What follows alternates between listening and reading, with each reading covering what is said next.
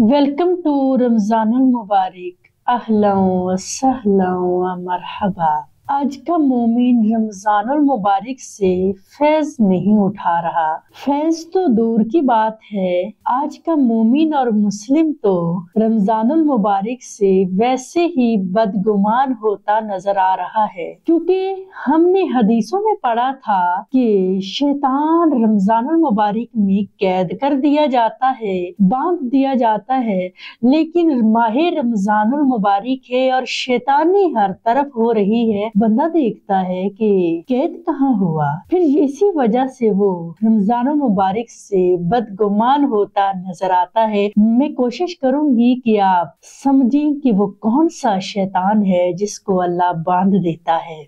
असल में जो हम खाते हैं, खुराक या पानी पीते हैं, ये सारी नबाताती चीज़ें हैं, सूरज की गर्मी से बनते हैं और इसके अंदर नार है। हर खाना जब हमारे मेदे में जाता है तो नार बनाता है और आपको पता है कि शैतान भी नार से बना हुआ है। और जब हमारे कलम में, जब हमारे मेदे में खाना जाता है तो हमारा कलब यूँ ही मुतासर होता है, जैसे खाना, जैसे कोई चीज़ उबल रही हो और उससे भाप निकले। तो ऐसे ही जब बंदा खाना खाता है तो उसकी नार से दिल उबलने लग जाता है।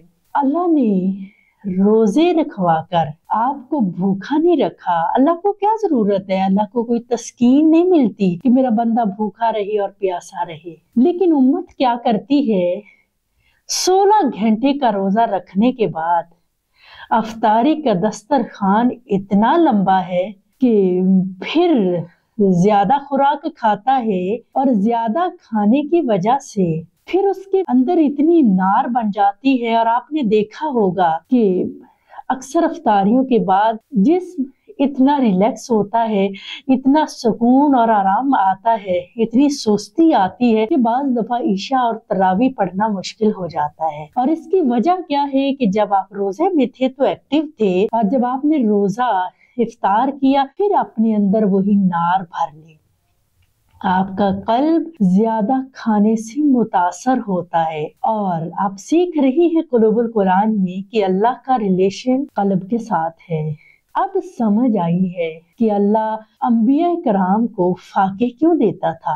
उनके घरों में भी साल भर का राशन रिखवाया जा सकता था। अल्लाह उनको भी जखीरा दोजी के लिए काफ़ी सारे फल दे सकते थे। क्या कहने उस नबी के? और क्या कहने उन फाकों के जो हज़रत अली और हज़रत फातिमा तो जहरा के घरों में होते थे? हत्या के रोज़े रखती और उनको खाने के लिए, अफतारी के लिए कोई चीज़ नहीं मिलती थी। उसकी वजह क्या है? अल्लाह उनको इसलिए फरावानी रिस्क नहीं देता था कि ताकि उनकी कल्ब मुतासर ना हो। और इसीलिए अब समझ आती है कि औलिया रोज़े ज़्यादा क्यों रखते हैं? क्योंकि रोज़े से अल्लाह ने नफ्स पाक करना है। आज का मोमिन बंदा क्या करता है? रोजा रखता है और अफतारी के टाइम फिर नफ्स को खुश कर देता है। ज़्यादा खाने खाओगे तो नफ्स खुश होगा और आज हमने मिला जुला काम कर दिया। इसलिए आज इस पहले रोज़े के साथ पहला मैसेज मेरा यही है। खुदा के लिए रमज़ान रमज़ान मुबारक में दस्तरखान को ना बढ़ाइएगा। बल्कि जितना आम रूटीन में चल रहा है,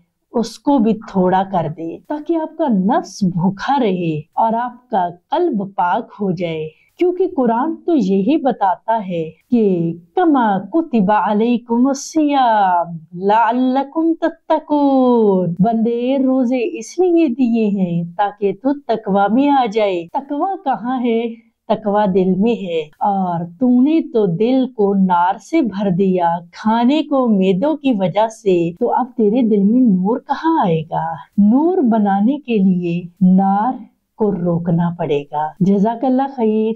अस्सलाम वालेकुम रहमतुल्लाहि व